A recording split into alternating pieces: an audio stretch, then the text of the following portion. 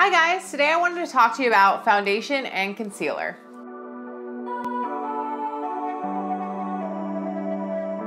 All right, so I wanted to come on here today and I wanted to just kind of go over some basics when it comes to foundation and concealer, different ways to apply it, and the benefits of all of that stuff. So foundation, there's tons out there. There's a, it's a very overwhelming situation. What I always recommend if you aren't really sure where to start, go ahead, go to a Sephora, go to an Ulta. I'm kind of partial to Sephora because they have a little bit more knowledge when it comes to this and they have a little bit more technology they've really worked on. You can go in there, they're gonna look at your skin, they're gonna do this little machine thing, they call it like Skin IQ, I think. And they're gonna tell you what kind of skin type you have, problem areas you have. So like I have really red, like borderline rosacea in my face. I have some discoloration. I don't really have a whole lot of like blemishes or acne I need to cover but I tend to go in full coverage side because I wanna hide that redness, whereas you might not have that issue. You might have more fine lines and wrinkles and things like that where you would wanna get something a little bit lighter that's not gonna sink in to those areas and they're gonna really help you direct you into the right place for that.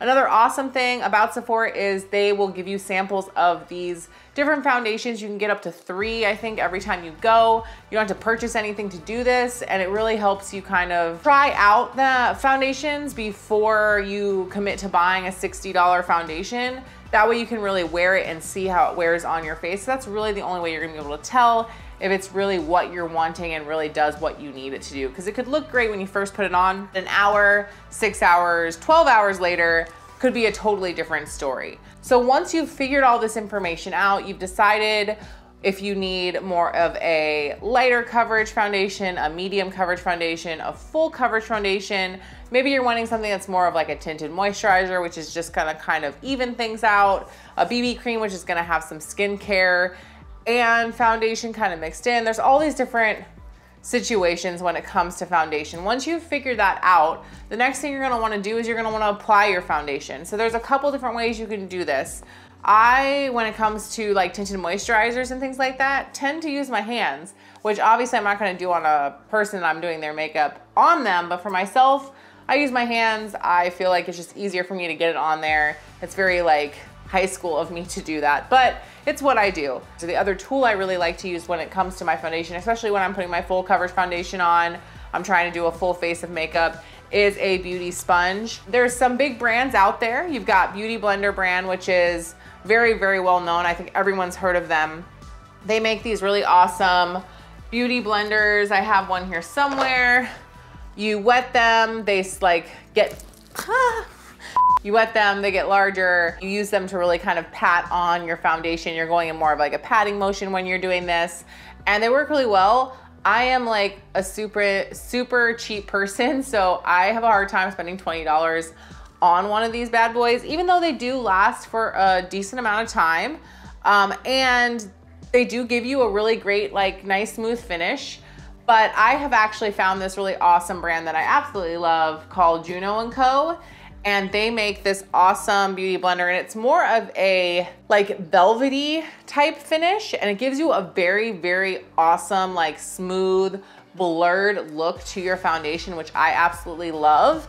And they're only like eight bucks which is awesome too. And they have different like shapes and different different ones. They have like this one here which is great for like stamping things out um, I use this to kind of fix up my eyeshadow if it's messed up. This is great for also doing like your under eye. You can set your face with your setting powder with this one, or they have more of like the traditional kind of beauty blender um, shape as well. So I love these. I've also got my mom kind of hooked on these ones too. So we usually like go in on like four packs and stuff. But these, this is a great, great brand. I'll link it below for you guys. They sell them, um, they have their own website. They sell them on Amazon and they also sell them on Beautylish, so you can get them in lots of different places. But like I said, they're super affordable and I love the way that they make my foundation look. Or, you know, you might already have a beauty blender at home and that's totally fine too. And tons of other companies make some type of beauty sponge like this. So I prefer beauty sponges, but there's other options out there as well. So another really popular option is a foundation brush. Um, this is a really good one by It Cosmetics, but there's also tons and tons out there. It's gonna look very similar to like a kabuki brush where it has like a flatter, more dense um, bristles. And this works great too. I use, have used a foundation brush before and I will use them sometimes on clients, but um, I tend to find that it requires a little bit more work to kind of get those little like brush lines out. And I also feel like it I have to use more product because I lose a lot of product into inside this brush than I do on a beauty blender. So I'm gonna go ahead and apply my foundation for you guys on both sides of my face. I'll apply it on this side of my face with a beauty blender and then I will apply it on this side of my face with a brush just so you can see the difference and I can kind of show you what I mean when I say like it looks a little bit like I have less product with the brush than I do with the beauty blender and you can kind of see the difference in the finishes. When it comes to foundation, I, like I said, tend to go on the full coverage side of things. So like I love my Amazonian Tarte Clay um, foundation. I have a couple that have like argan oil in them because I do have drier skin. Um, I absolutely love this um, Bali Body BB cream, which is what I usually use when I have my you know, fake tan on. So I'm gonna go ahead and use this today to show you what I'm talking about when it comes to foundation. But again, you can use whichever foundation you decide you wanna buy. There's also some really awesome budget-friendly foundations out there. I absolutely love the Wet n Wild Photo Focus foundation. I've tried it in the dewy, I've tried it in the normal one, and I love them both, and it's only like six bucks at like Walgreens, CVS, Walmart, Target, all those places carry it. Um, e.l.f. makes some really great foundations. So don't feel like you have to go out there and spend 60, 70, whatever crazy amount of money that people spend on foundation to find something that works for you. There's gonna be some trial and error, and that's okay too. And if you wanna try something that's more of like that budget friendly drugstore type brand, and then once you find something that you really like and you know, oh, I really like dewy foundations, then you can go and check out a little bit more of a expensive dewy foundation, or oh, I really like the foundations that are a little bit more mattifying or whatever. I always, you know, say start out wherever you feel comfortable and you can always try a more expensive brand when you're ready to transition to that. So what I'm gonna go ahead and do right now is I'm gonna go ahead and apply this foundation for you guys, like I said, on both sides of my face, and then I'll come back and I'll kind of talk about, you know, what I notice between the two. Okay, so I've gone ahead and like I said, I've applied with my uh, Juno & Co. sponge on this side and I've used a brush on this side. I don't know how well you can tell on camera, but I can really tell a difference in the amount of product that I have on one side of my face versus the other. So this one really kind of covered a lot more of the redness and the stuff like my discoloration that I have in my face. Whereas on this side, I feel like it didn't cover as much and I use pretty much the same amount of product on both sides. I just tend to see that I lose a lot of product inside this brush. So that's just kind of why I tend to steer clear of the brush versus the blender. But if you're wanting something a little bit lighter, a little bit less product on your face, then the brush might be for you. It really depends on what you're wanting it to do and what your preference is. So once we've done this, the next step is concealer. Concealer is, again, very similar to foundation as far as there being tons and tons of choices out there.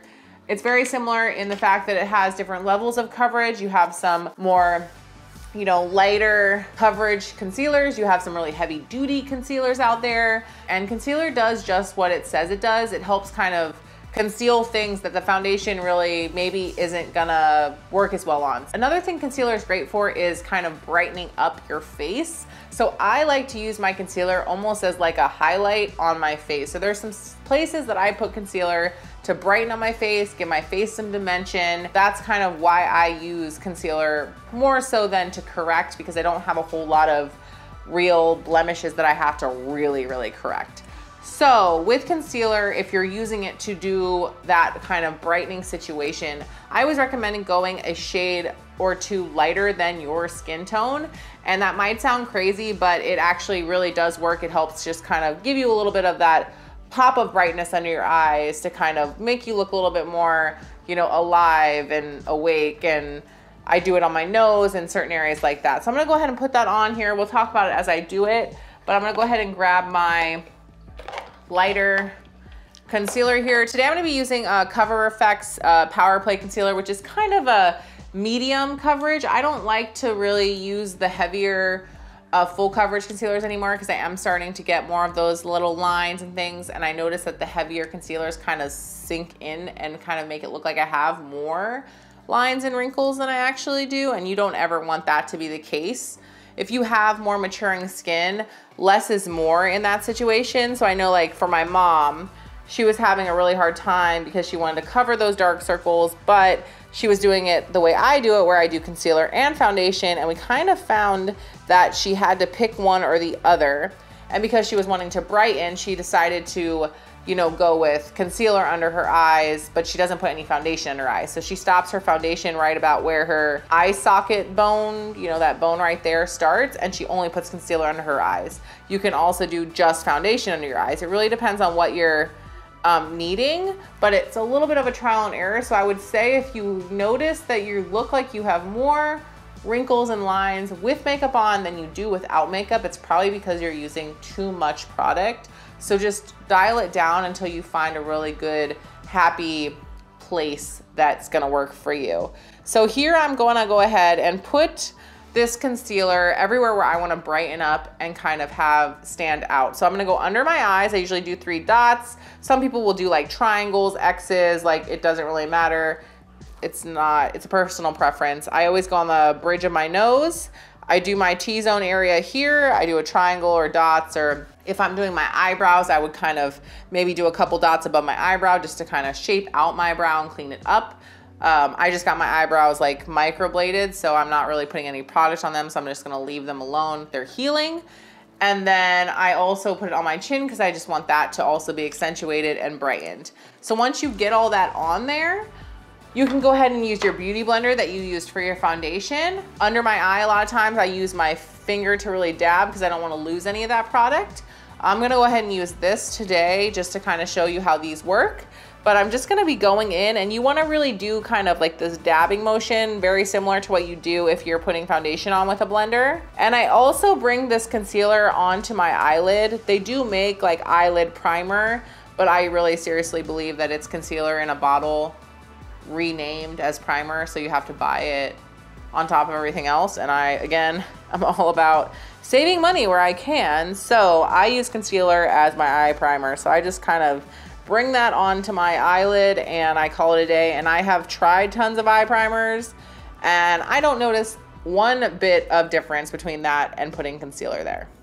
So I just go with the concealer. Totally up to you if you already have an eye primer that you like to use, you can still use that as well.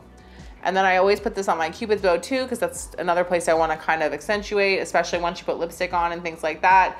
It kind of just helps, you know, your lips pop out a little bit more. I do my chin and I really bring that right underneath my lips as well. And I kind of bring this concealer above my mouth a little bit over the whole top part of my lip. Again, to accentuate my lips, but also to kind of hide some uh, peach fuzz is what we're gonna call it that I have there too. And you're gonna wanna bring this concealer under your eye pretty much out to the tip of your eyebrow and you wanna bring it down to about this tip of your nose. So it's kind of this triangle shape that you have and that's just gonna brighten that whole area up.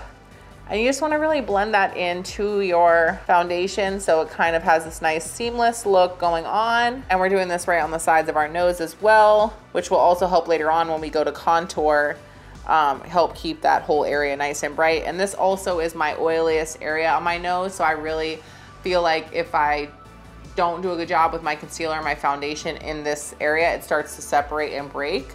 So I really try to make sure I blend this in on my nose very, very well. And that's pretty much it. So that is what it's gonna look like when you've done your foundation and your concealer. And then the next step would be to set your face, which we're gonna be doing next week. So we'll make sure you guys have your little notifications on so you see that video. But this is really it for foundation and concealer. Like I said, I know it's overwhelming. There's a lot of choices out there. Ask for help if you aren't sure go to your local beauty store, your local Sephora, Ulta. They're really, really knowledgeable when it comes to that kind of stuff, and they're really good at pointing you in the right direction. There's some really great brands out there that really have focused on making sure they have foundations for every skin type, every age type, and that's really it. I also, you know, always say too, just because something works for one person doesn't mean it's gonna work for you. So just keep that in mind when you're trying things out and when you're asking for advice it might be great for your best friend, but it might look terrible on your face. Like I cannot wear Fenty foundation. Everyone loves it. It's so amazing. I can't wear it. My skin's too dry and it looks like I have like caked makeup on my face. It is what it is. I've tried it multiple times, tried adding things to it. I wanna love it because everyone says it's amazing. Just doesn't work for my skin and that's okay. So don't feel like you have to try something just because someone else swears by it. Um, that's, that's really all I've got for you guys. I hope this was helpful. If you're new to my channel, don't forget to subscribe. Like I said, hit that notification bell so you get notifications on videos I do in the future. If you liked the video, give me a like. I'd really appreciate it. And I hope you guys like this video and I will see you on the next one.